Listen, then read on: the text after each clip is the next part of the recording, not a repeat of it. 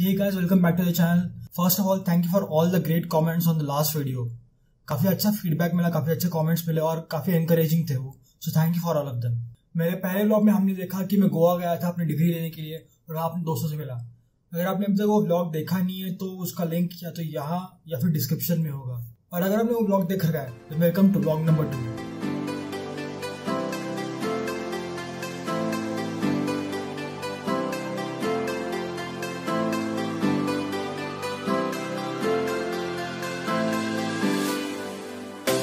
अब हमारा second day था गोवा में और हम जा रहे थे अगवाड़ा फोर्ट अगवाड़ा फोर्ट एक सेवनटीन सेंचुरी फोर्ट है, जो दस लोगों के अगेंस्ट डिफेंस के लिए बनाया था। ट्रिप के सेकंड डे हम निकले अर्ली मॉर्निंग इस फोर्ट के तरफ़ फोर्ट पे जाने से पहले हमने वही लोकली थोड़ा ब्रेकफास्ट कर लिया और फिर हम फोर्ट के लिए निकले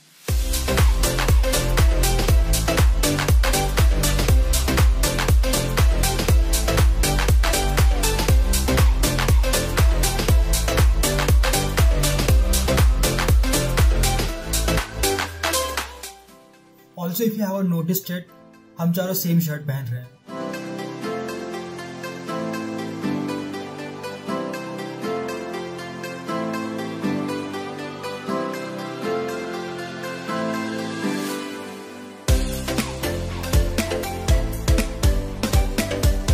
अभी एक वेल प्रिजर्व फोर्ट है जिसमें चारों तरफ़ दीवार है और बीच में लाइट हाउस है। अभी दिखने में बहुत अच्छा लगता है, लेकिन इसका एक ड्रॉबैक है। ये आगे बताऊँ क्या है।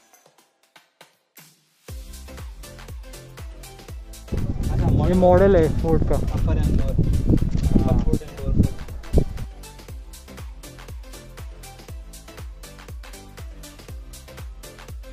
एंड करंटली इधर इस तरफ़ है। यहाँ से। Yes Aman Sharma temporarily taking over the blog या वाह यार वाह। जयराम व्लॉग है। व्लॉग यो नहीं सर गुड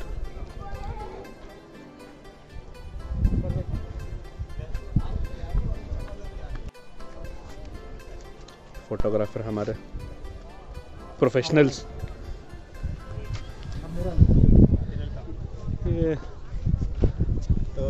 अब आपको लग रहा होगा कि अगर हम फोर्ट देखने गए तो हमें आसपास के सराउंडिंग्स के बारे में फोर्ट कंस्ट्रक्शन के बारे में इसकी हिस्ट्री के बारे में इंटरेस्ट होगा नहीं? अमन भाई को सब सबसे ज़्यादा इंटरेस्ट जेल में और तीस लोगों की जेल देखनी है अमन भाई को।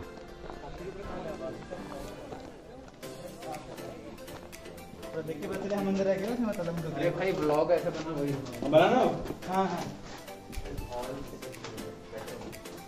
भाई ये कुछ भी क्या भाई? सिविल इंजीनियरिंग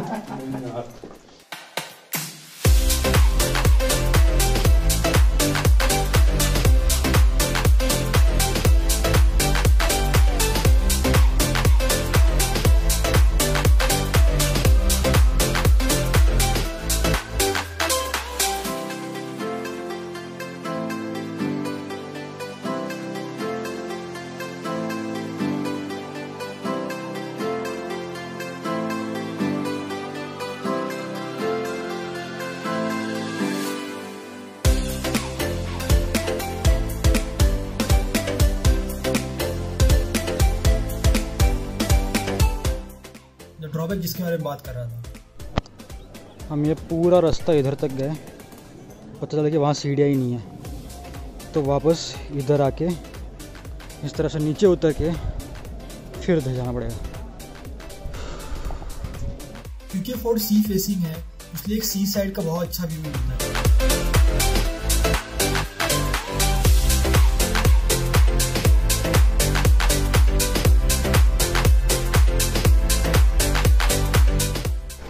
कैसा लगा आपको ओ बहुत मस्त बहुत मस्त।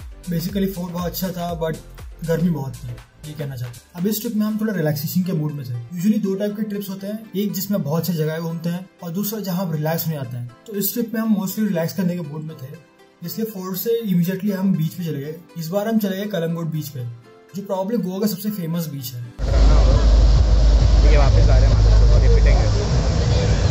फ़ेमस बीच होने के कारण भी क्राउड बहुत था। So instead of making vlog or anything, we just decided to relax and enjoy some beach time.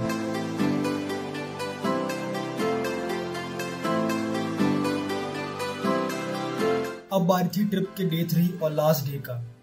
ये डे था वाटर स्पोर्ट्स का। ये पूरा डे हमने बुक किया था अलग अलग टाइप के वाटर स्पोर्ट्स के लिए और साइट सीइंग के लिए। तो शुरुआत में तो उन्होंने हमें काफ़ी सारे अलग अलग साइट्स दिखाए।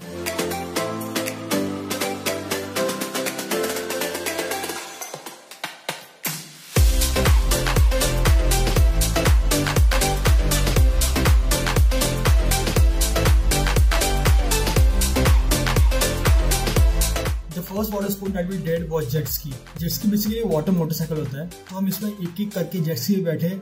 और जो ड्राइवर था, वो हमें दूर घुमा के लेकर आया।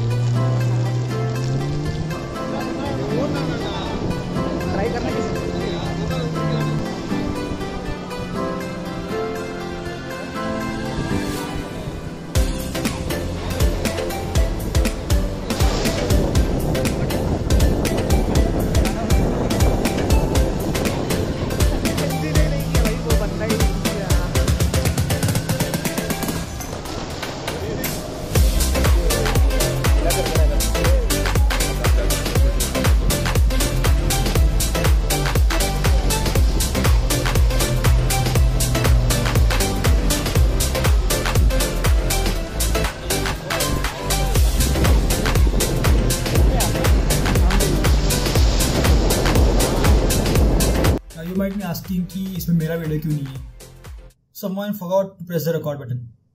I won't say who, but someone did. I won't say who, but someone forgot to press the record button. जो सेकंड वाटर स्पोर्ट था वो था बनाना राइड अब इसमें एक बड़ा फ्लोट होता है बनाना की शेप में जिसपे मल्टीपल लोग बैठते हैं और एक मोटर बोट से कनेक्टेड होता है वो मोटर बोट इस बनाना को खींचती है और वाटर के अलॉन्ग ले जाती है अब क्योंकि चार लोग बोट पे बैठे हुए थे इसलिए I don't have a video of it but here's a video of it I found on the internet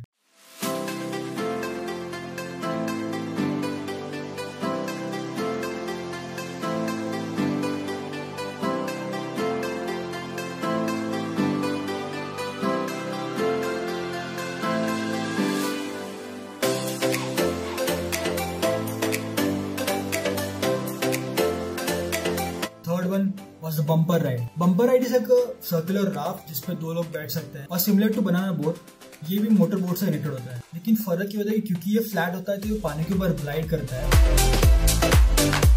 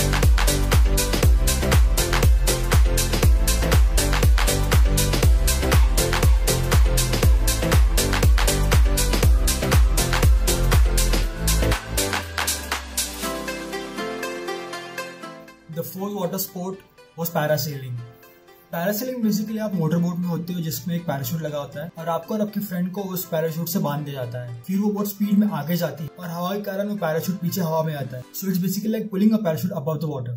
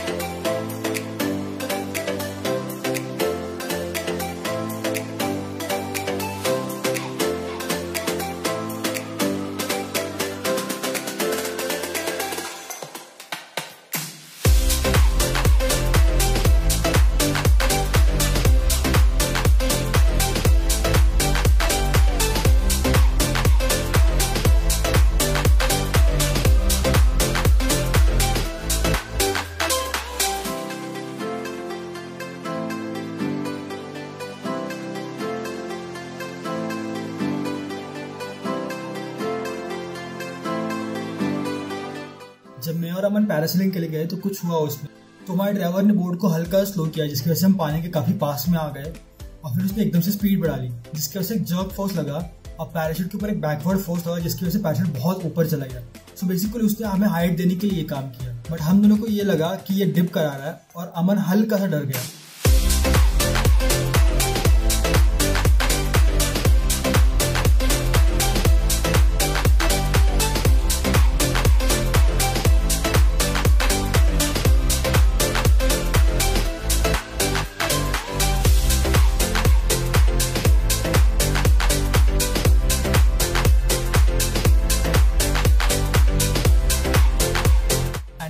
Last and the main event scuba diving scuba diving basically underwater diving है, जिसमें आपको एक breathing equipment दिया जाता है, जिससे आप पानी के अंदर काफ़ी टाइम तक रह सकते हो और डाइविंग कर सकते हो। क्योंकि हम इस चीज़ में एक्सपर्ट्स नहीं है तो जब हम स्कूबा डाइविंग के लिए गए, हमारे साथ हमेशा एक ट्रेनर था। हम उस ट्रेनर को बता सकते कि हमें और नीचे आना है या ऊपर जाना है।